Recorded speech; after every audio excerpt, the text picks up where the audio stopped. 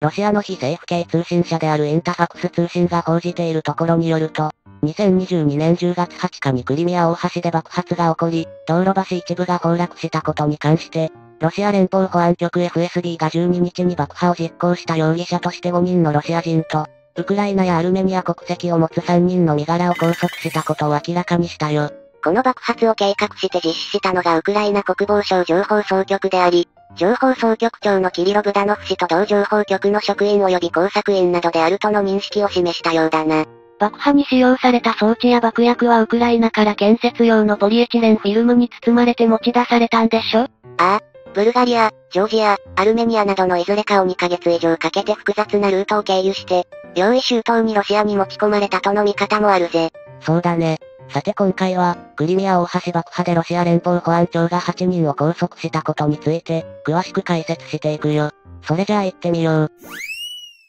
クリミア大橋は、2014年にロシアが一方的に不当に併合したウクライナ南部クリミア半島の東にあって、アゾフ海と黒海を結ぶケルチ海峡においてクリミア半島とロシア本土の、クラスノダール地方のタマン半島にかかる全長 18.1km 道路橋は 16.9km の鉄道道路併用橋だね。それまでロシア本土とクリミア半島の間を結ぶケルチ海峡フェリーの代替輸送経路としてプーチン大統領の肝入りで建設が決定され、2015年5月に建設工事が始まり、道路部分は2018年5月15日に開通して、鉄道部分が2019年12月23日に開通し、プーチン大統領が自らトラックを運転して渡り初めを行った映像が残されているよ。この橋梁はロシアがこれまでに建設した橋の中で最長であり、かつヨーロッパで最も長い橋としてロシアとプーチン大統領の威信の象徴とされているんだけど、ウクライナ政府はロシアが橋を建設したことを違法として非難していて、ロシアに対して一時占領下のウクライナ領内にあるその構造物の部分の撤去を求めているんだ。また、建設に関与した企業としてプーチン大統領と親交が深いアルカディ・ローテンベルク氏が運営する、ストロイガズモンタジ SGM 社に対して、アメリカと欧州連合 EU から制裁措置が導入されているな。国連総会ではウクライナからの訴えを受けて、2018年12月以降、橋の建設と開通がクリミアのさらなる軍事化を促進するだけでなく、アゾフ海沿岸のウクライナの港に到着できる船のサイズを制限するとして繰り返し非難が出ているが、ロシアはロシア地域の住民のための輸送インフラを建設することについてどこの許可も必要ではないと主張して反論しているね。10月20日早朝に起こった爆発によってクリミア大橋は、道路脇の一部が崩落して並行する鉄道橋を通過中の燃料輸送列車のタンク車7両が道路橋上に発生していた火災によって誘爆炎上し、双方の橋が普通となったんだけど、翌日には道路橋が残った部分によって通行可能になったことが伝えられていて、その手際の良さから橋の爆破はロシアの自作自演ではないかとの疑いすら生じているんだ。なお、ケルチ海峡の航路上をまたぐアーチ部分に損傷はなく、その下を通過する船舶への影響はないとされているほか、この爆発で爆薬が搭載されていたトラックの運転手と、その近くを通行中の乗用車の乗員2人男女各1名ずつが死亡したとされているよ。クリミア大橋は2022年2月24日に始まったロシアによるウクライナ侵略において、ロシア軍が本国からヘルソン州などへの補給路として活用していたことから、以前よりウクライナ軍によって攻撃対象となる可能性が指摘されていたことから、この爆発がウクライナ軍の関連する破壊工作の一環であるとの見立ても出されていたんだ。この爆発に関連する情報は、この容疑者逮捕の報道まで続報がなかったんだけど、テレグラム上ではロシア捜査機関からの情報が流されていて、爆発したトラックの運転手は51歳のアゼルバイジャン系ロシア人とされ、約23トンのフィルムとされていた荷物の運搬を請け負っただけで、爆破工作には関係がないと見られているよ。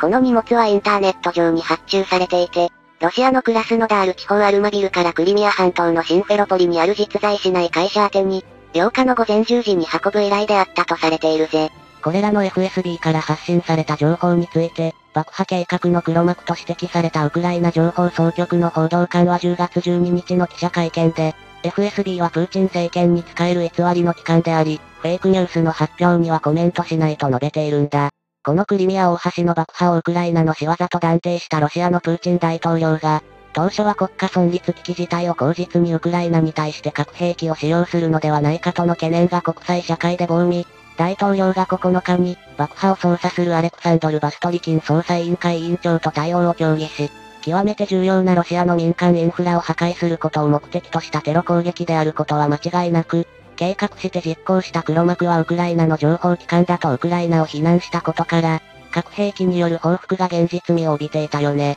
これが自作自演で核兵器を使用する事態になれば、ロシアは国際社会からさらに非難されるだろうね。ロシアにおける核兵器使用のドクトリンは、自国及び同盟国に対して核兵器など大量破壊兵器が使用されることが判明した場合か、ロシア領土に通常兵器を使った侵略があり国家の存立そのものが脅かされる国家存立危機事態の場合には、核兵器の使用を検討することを2020年に大統領令において明らかにされているんだ。プーチン大統領は9月21日に部分的動員令を発令した際、国民に向けてビデオ演説を行ったがその中では、ワシントン、ロンドン、ブリュッセルは核の威嚇に手を染めていると決めつけ、北大西洋条約機構 NATO 主要国高官はロシアに対し核兵器を使う可能性を容認しているとした上で、ロシアにも様々な兵器があり、それらの中には NATO 諸国の兵器より近代的なものもあると牽制しているみたい。そして、領土保全への脅威が生じた場合、ロシアと国民を守るため、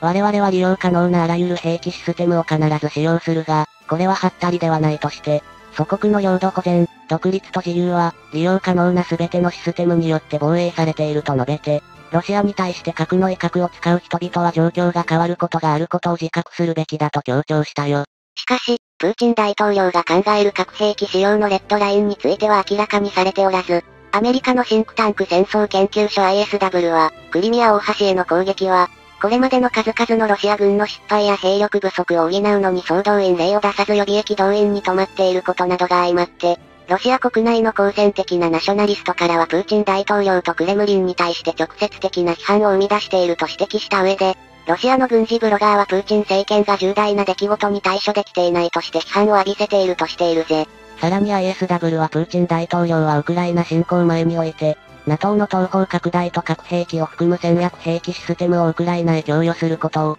核兵器使用を決断するレッドラインとしていたが、侵略開始後はこのレッドラインについては触れていないと指摘して、大統領の太鼓持ちとされるメドベージェフ元大統領がクリミア大橋爆破はレッドラインだと公言していたものの、プーチン大統領がこれを認めなかったことで失望した軍事ブロガーが、大統領と政権への批判さらに増長させているとしているね。何にせよ、核を使った戦いにだけは発展しないでほしいよね。結局プーチン政権は、10日以降ウクライナ全土に対して80発以上の巡航ミサイルや自爆ドローンによる、民間インフラ設備への攻撃を実行して、ウクライナ民間人を殺傷する報復に出たんだけど、このことで西側諸国からは批判を浴び、ますます孤立を深める結果を招いていて、プーチン大統領が墓穴を掘ったと指摘する声が上がり始めているよ。それじゃあ今回はこの辺で。よかったら、チャンネル登録してね。